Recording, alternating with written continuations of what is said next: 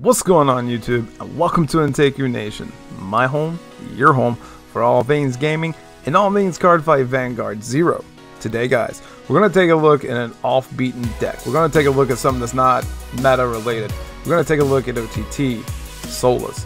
Now, before we begin guys, please hit that like button if you like this video, smash that subscribe button, and click the bell so that you can be notified each and every time that I upload a brand new video. With all that being said guys, let's dive right into it. Alright guys, welcome back to another set 4 deck profile video.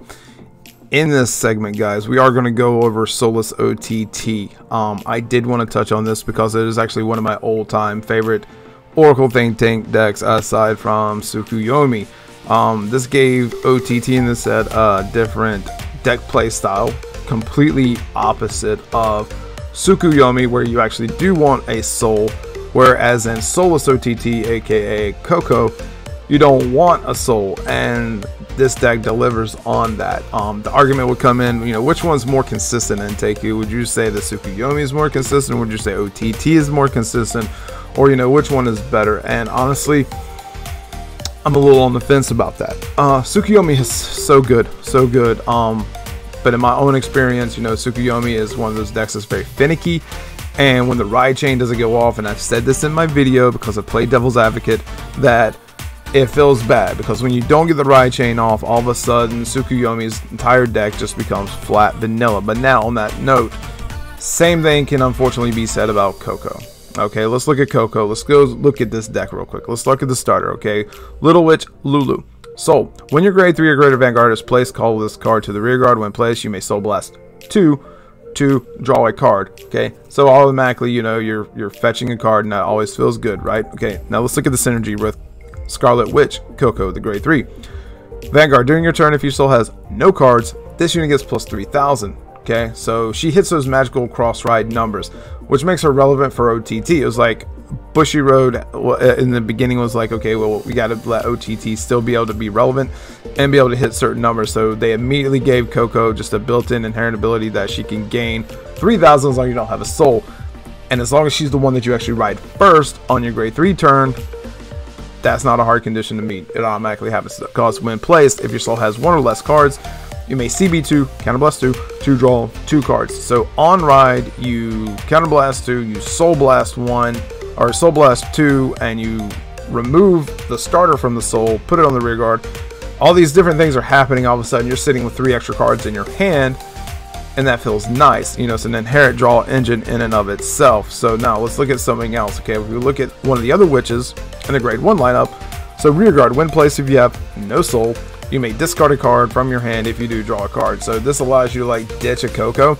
Like if you're fetching for those Toms or you're looking for your PG, Lala gives you that ability to search and dig through your deck, which if we if you kind of look at some of the decks uh, like Dote and you look at Shadows, um, they have ways to dig through the deck. Now, if you look at MLB, though, MLB doesn't really dig through the deck so much as they tutor out the pieces that they need. They search for the pieces that they need through Gancelot, through Wingal Brave, Star Called Trumpeters, um, all of the such. You know, it allows you to kind of search, so it's not so much digging as search. So, OTT is just no different than Dote or um, uh, even Perfect Razor, because with Perfect Razor, you're kind of digging through the deck with your magician girls and your draw triggers to try to get your pieces. And um, yeah soulless ott is just no different. Like you you just got ways kind of filter through dig through the deck and get what you need. Um, there's not much difference here guys. We do run you know obviously for four pgs for a grade one lineup. We are running two coco. You could go up on coco maybe three I don't know if you really want to run 4 because she is a 6k. Um, it is nice to be able to still see the top card of the deck, decide, you know, hey, do I want to keep this? Do I want to put it back? Because if it's a trigger, then it feels nice. If it's not, it allows you to kind of know, like, what you're going to draw into versus also what you're going to drive check into. And Coco is just all around, you know, really nice. Gives you that little fortune telling ability. Um, we do run three of the 8k vanillas because Magic Christmas numbers that I like to call them. Uh, 8k vanillas just help you to meet that threshold. Because like if you got let's see 8k plant behind um battle sister glacé during your turn if your soul has no card she becomes a 12k so now you've got that with a gemini behind him and all of a sudden she's swinging for 20000 hits the trigger's 25 again you're hitting those magic magic numbers, guys. And that's what it's all about right now in this format. You want your, your rear guard columns to be hitting those magic Christmas numbers so that you can actually land the hits that you want to hit. Um, we are running um, in the grade 2 lineup the four silent Toms because Tom Tom's not going anywhere. Even in limit break, you're still going to run Tom. Even when we go into the arc mode of the CEO archetype support where we get the cross ride limit break version of CEO Amaterasu and she gets her CEO support with the Susanos and all that stuff, you're still going to run Tom because Tom is the OTT finisher. And until something better comes along, I don't think that it will. Tom's just going to be where it's at. He's going to be, he's like, face of the place. You know, I don't care if you have a PG, I'm coming for your face if you're grade 5, or damage 5, grade 5. That's terrible. My English, it, um, it fails me. Anyway, guys, so looking at the grade 2 lineup, again, we do have the the Gemini's uh, or the Oracle Guardian Wise Man, and that's just pretty solid because it's 10k. Um, I just don't know what else you'd want to put in this lineup, guys. Uh, you could go up more on the Rock Witch Gaga, um, which is Vanguard Rearguard. When this unit attacks, if your soul has no cards, again, no soul, um, you may draw a card and put a card from here on the bottom of your deck. Now, she does kind of give you that Tsukuyomi feel because she's like, okay, I'm going to take this trigger I'm going to draw a card, but I'm going to put this trigger back on the bottom of the deck. So it does kind of give you a little, you know, trigger stacking ability. But it, it just feels a little underwhelming in this deck because I don't think more times than not the deck is not going to go that far the distance that it's going to matter. And at that point, you're just putting something back and hoping at some point if it's there that you hit it, but on the off chance that you don't, then it's just kind of, eh. But she still, she still lets you get through the deck and, you know, lets you kind of search for your silent toms or your perfect guards. And that always feels nice.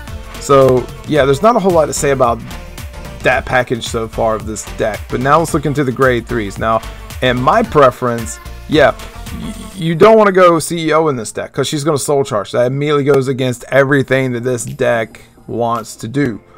Um, on the off chance though that you don't get Coco, here's the Falcon, Apollon. Apollon is your Falcon. So when this unit attack hits, you may CB2 to draw two cards. So again, you can still get rid of the starter to Soul Blast 2 and draw a card. So then when this guy swings, obviously more times than not he's going to hit, you know, especially if it's your first ride and you got 2 CB, you're going to net two more cards, okay?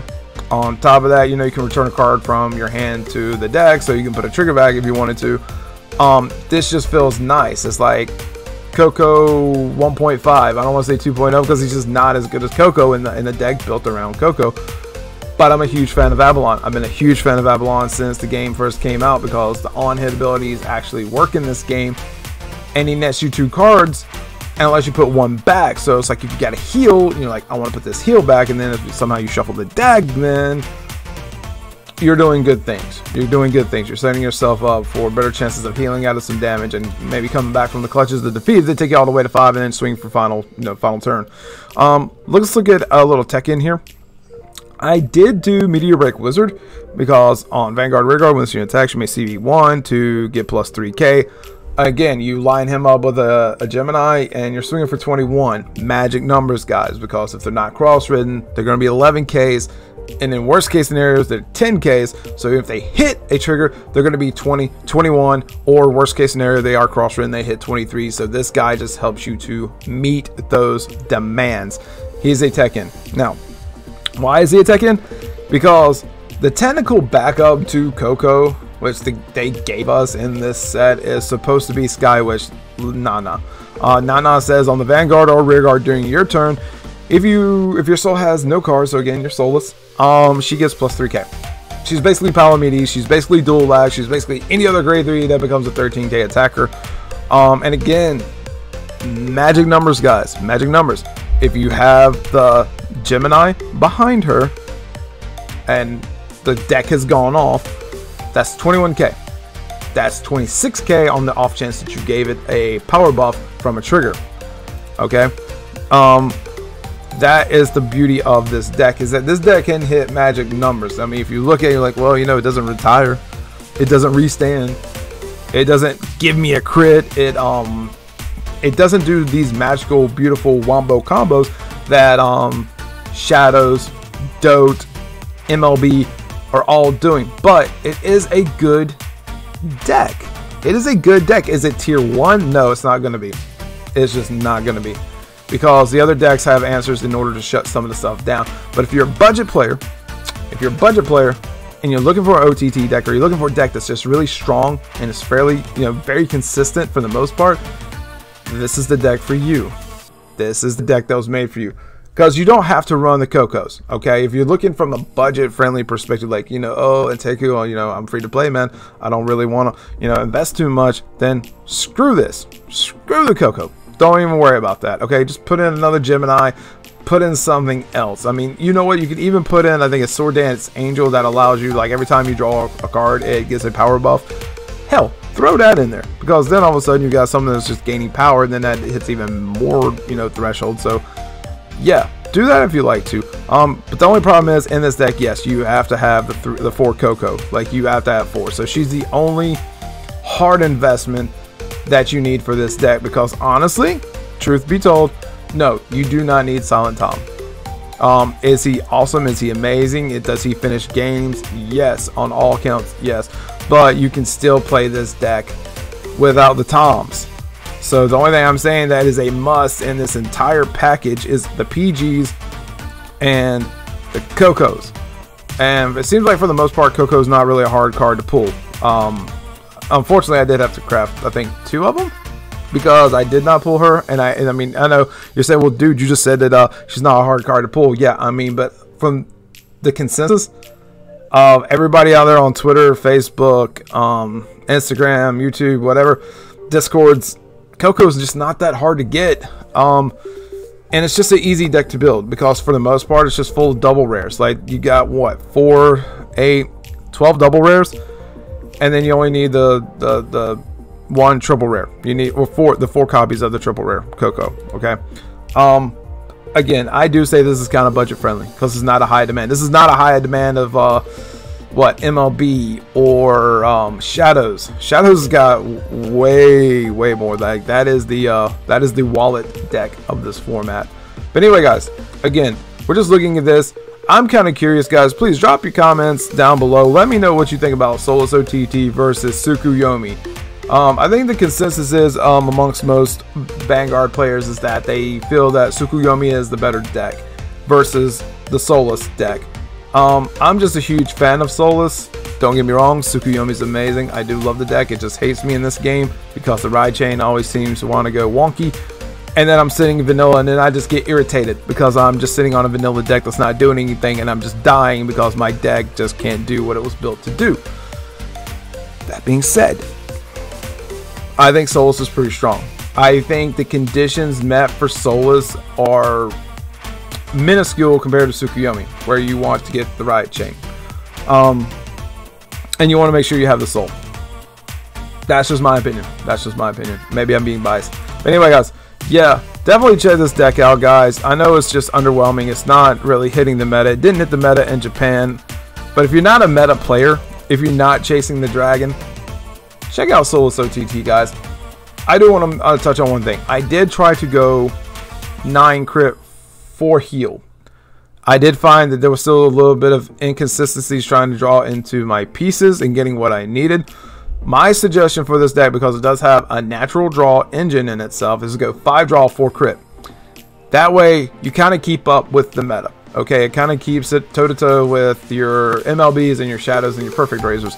Because at least that, at that point, you have the chance to actually crit them. You have the chance to actually take them even further in damage if you can drive check into the critical trigger. And so um, I think that's amazing. That's one of the cool things about OTT. And I said this last night on stream with um, Cardfight Vision and Juan Mango 64 is that OTT is in a really cool place versus the meta because most of these meta decks you have to run all draw. There's no room to, you know, use critical triggers in those decks. Yes, you can. You can, but you sacrifice getting your key pieces, you sacrifice being able to replenish your fields, you sacrifice getting those PGs if you need them, because then you're kind of living and dying by PGs. It's like, okay, either I'm going to kill them and they don't have PGs, or either they're going to kill me because I didn't have PGs, or I can kind of live because I did get PGs, and then this is all of a sudden like PGs are just the most relevant thing and the most important thing. Um, and unfortunately, perfect guards are very strong in zero. You need them. Like you want to see them. If you don't see them, it feels bad. Um, but again, going back to my point, is that um, OTT is just really cool because like in some hardcore Tsukuyomi builds, you can go straight up just crits because of the inherent draw that the deck has. Like it digs, filters, it stacks triggers, and it allows you to be able to run crits. And that feels good because it's just nice to not have to raw uh, can't talk to run all draw triggers in zero because zero's made draw triggers just the nuts. It is the most important trigger in the game. Whereas in the original game, crits were the place because we kept our drive checks. You know, we were able to still draw in the stuff, and um, that felt nice. So we could we could afford to run critical triggers, not so much in zero. Um, again, guys, not a whole lot to say about this deck. I did just want to touch on it. I felt it necessary to at least represent OTT this time um, in this meta, in this format, in this season, because we all know right now the three kings, three kings, Shadow, MLB, and um, Dote and it's just unfortunate. It's really unfortunate that kind of like OTT and every other deck in the game is kind of like been put on the back burner because those three clans are so strong, they're so effective and consistent in what they do that the other clans right now just kind of feel like they pale in comparison.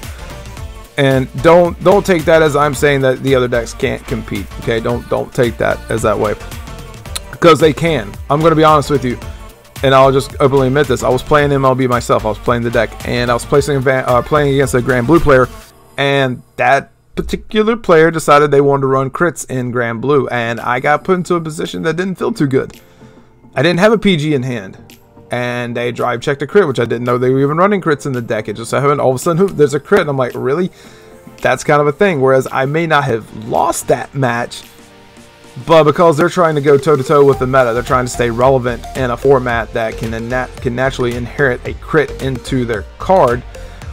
You know, that's people trying to adapt to the meta. That's trying to adapt. Like you know, I don't want to play meta. I want to play my clan, and so I'm going to put crits in it. Um, and it does work out. Don't get me wrong, it does work out. It just hurts the consistency of the deck. It hurts what you can do, unfortunately, because you don't, again, you just don't keep drive checks, guys. But again, I'm kind of, you know, beating off the trail of OTT, but I just want to touch on this, guys. Please, you know, feel free to build this deck. Please feel free to kind of modify it to your liking. You know, again, you know, Santeku's motto, do not cookie cutter my decks. Do not cookie cutter what I do. Do you have fun, experiment, and see what works for you guys. Please, please have fun. That is the importance of this game, the importance of any of these decks is to have fun in this game. It is not all about the meta. It is not all about just being the end all be all best at this game. It's always important to remember to have fun and play what you love. Play the clans that you love and defy the meta. Go against the grain. Be the underdog deck that comes out on top. With all that being said, guys, please remember, hit that like button, guys, if you do like this video. Please hit the subscribe button. It helps me help you guys. Like, I cannot stress that enough. We're almost to 150 subs. That feels amazing. And I thank all of you who keep coming back. I thank all of you for the love and support that you've given my channel. But please, guys, if you do view this and you've gotten this far into my video, please hit that subscribe button so that I can help keep growing with you guys and we can keep making amazing content together and grow this community as a whole. And as always, please guys, stay strong, stay healthy, and stand up my vanguard.